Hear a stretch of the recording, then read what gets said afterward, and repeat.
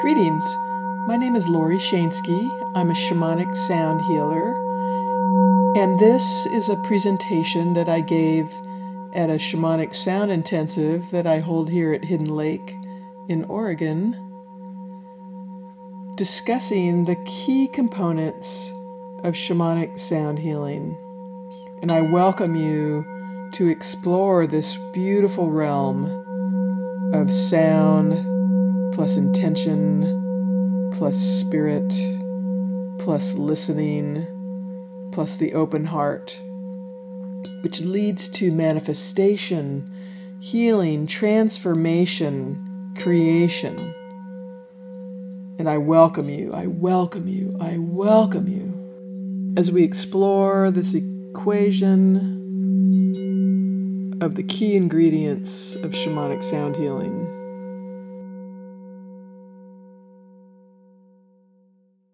This work really emerged uh, from my work from Tom Kenyon. Actually, I'm going to show you. He had this great equation where, and he kept finding this out in all these different circumstances where he was doing research that sound plus intention equals healing. And Jonathan Goldman also had this great um, equation, very similar, where he said visualization plus vocalization equals manifestation. And it was really interesting when I was working with Tom, who I worked with for a couple of years and then I went and saw Jonathan uh, for a long, intensive, um, uh, about four years ago. Anyway, I could tell that they were working with spirits, but they really didn't talk about their process um, and how they were incorporating their spirits and so forth. And so as I began to sit and start to blend the sound healing work with them, with my um, years of shamanic training with Jan and Michael Harner and so forth, this other equation emerged. And so I have incorporated a few things here and there over the um, over the years. And the first part of the equation was really sound plus spirit plus intention. That spirit is a super important component in the sound healing equation, in the sound healing process. And so, um, and that is really at the root of shamanic sound healing. It's incorporating and asking for that divine assistance in holding, framing and holding an intention, and then transmitting sound. And we're also going to be very attuned to the receiving of sound. And um, that's a lot of what we're focused on this weekend. And then it became really important that we begin to consider listening as a part of the equation, like listening to the spirits and the open heart. And that all of these five things, and these instead of plus signs, are probably multipliers. That these are the components that lead to manifestation and transformation and creation. Oops. Sorry about that. And so when we just think about and feel into this idea of sound, Tom said it really well. He said, you know, sound is a carrier wave of intention.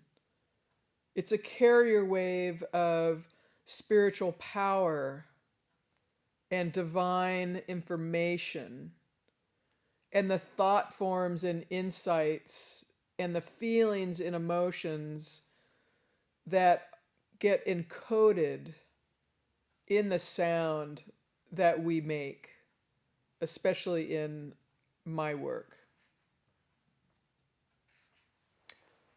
And spirit, of course, you all are very familiar with how potent it is when humans and spirits team up in a partnership.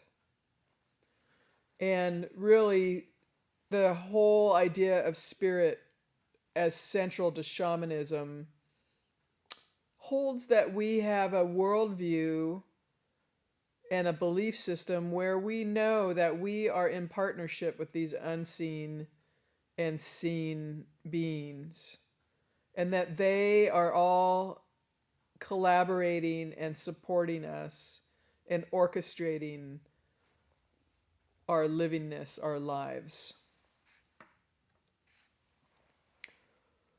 An intention, it's like I really, it, it started out kind of as a mental construct, but it's really the yearning. It's like, what is it that we yearn for?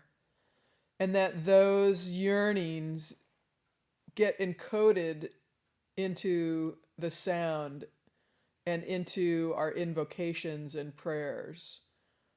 That we visualize what it is that we feel and yearn for, what we want, what's needed. And that we work with sound and spirit to broadcast the feelingness of those yearnings, of that desired state that we're seeking to manifest. And our intentions are usually supported by language when we speak into our bowls or out in our into our in, invoking space or as we gather with another to do a healing that we're speaking into the sacred and using language to paint a picture of the desired state that we're seeking to set into motion.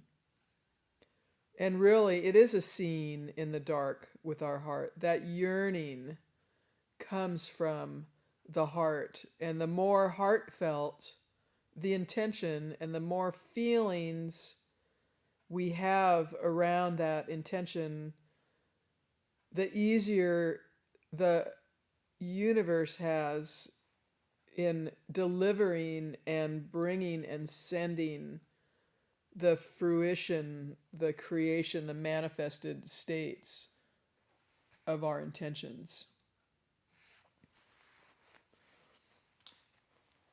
And today and tomorrow in particular, we're going to be really looking at this listening piece.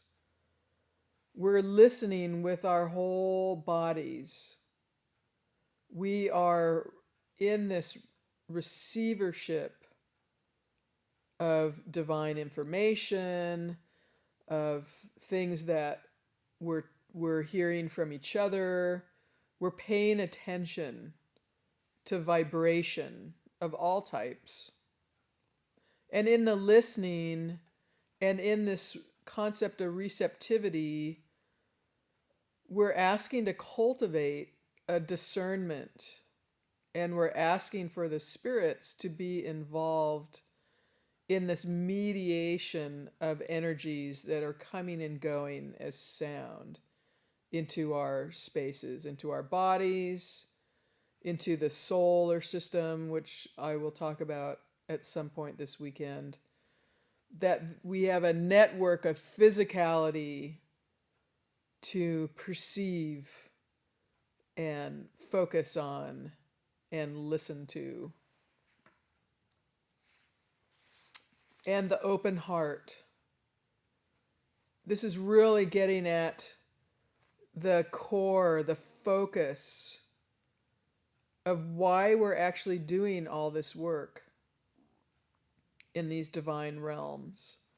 And the open heart as this focal point or this portal of the flow of love in and out receiving, transmitting, that our hearts are active in participating in this exchange.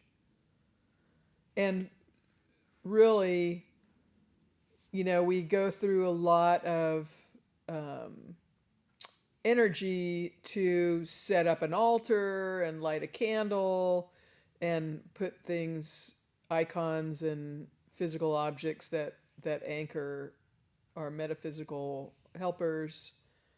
And really, the true altar is the open heart.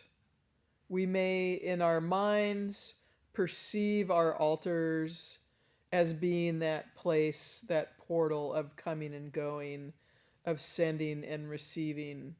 But truly, it's the open heart that's the true portal for the coming and going of spiritual energies.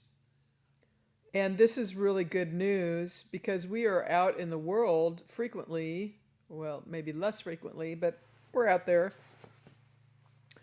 And if we have our heart and we have our voice, we can do the most potent shamanic sound healing without the need of all of our stuff. And it's really important to to find that you have that capacity or to cultivate that capacity. And so the equal sign in the equation, we're using these, blending these ingredients sound, spirit, listening, the open heart, intention to inspire, to set into motion to magically produce, to imagine, to experience a becoming or unfolding into. A manifested state,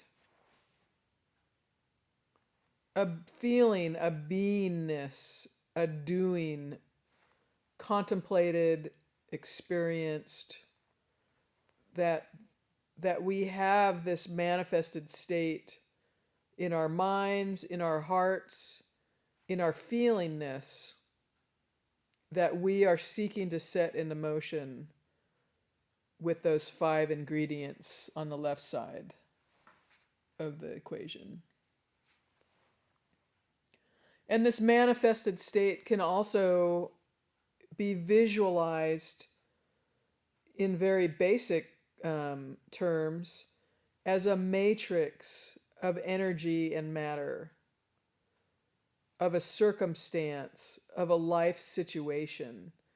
And we're asking for sound and intention and spirit to get into those matrices of energy and matter to make a shift, to change, to inspire a new state of transforming on an ongoing basis.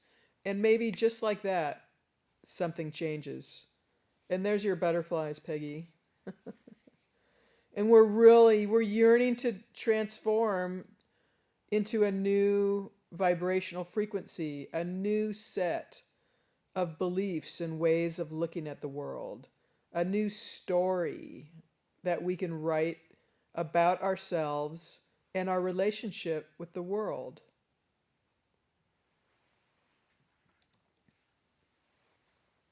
There's there's Cindy's uh oh hey Cindy's dolphin and Sarah's mermaid and other lovely animals there. And we're really creating, we are creator beings. And in this process of creating, using our sound, our voice, prayer, intention, our partnership with the spirits, we're really asking in a healing to visualize what we want, feel what we want, and then remove any obstacles or hindrances or obscurations to that desired manifested state. And we call in sources of support, divine frequencies, to weave that new dream, to weave that new story, to bring about that new created state. And in my world, in the process of doing this, our mission together is really to have fun, to enjoy an ascension in our vibration and in our illumination, to contribute to the evolution of our souls. I mean, that's really what we're doing here, if you believe that, on the planet. To be of service to self and others and earth. To live an uplifted life. To, tra- to crack a good joke and to just be. And we use intentional spirit guided sound in a loving community and in our communion with the divine. And and we just say thank you. And we sink into that knowingness and let that permeate into our being as the truth. And I say thank you, thank you, thank you to all the wise ones that spoke through me to my teachers, Jan Engels-Smith, Tom Kenyon, Jonathan Goldman, as well as Tom Cowan, Bradford Keeney, Betsy Bergstrom, Buck and Paul Ghosthorse, Susie Tucker, Francesca Mason Boring. And we say thank you to all our teachers that bring us to a new state